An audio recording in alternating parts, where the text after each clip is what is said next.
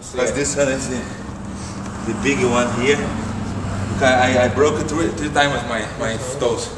Here, look at this. Here, Oh shit. here, look at this. That's gross, man. Here, here.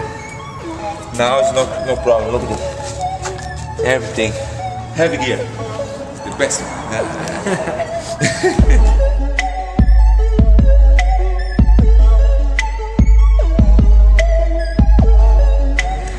This uh, the owner is Paul.